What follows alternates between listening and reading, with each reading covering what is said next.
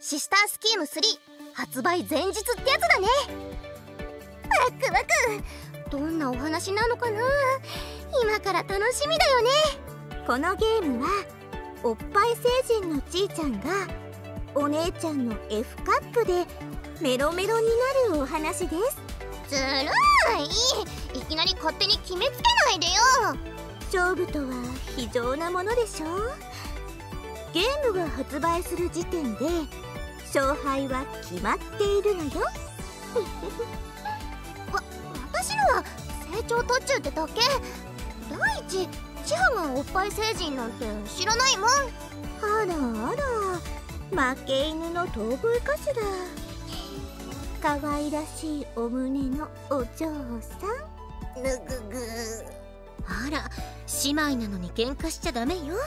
みんな仲良くしないと。ね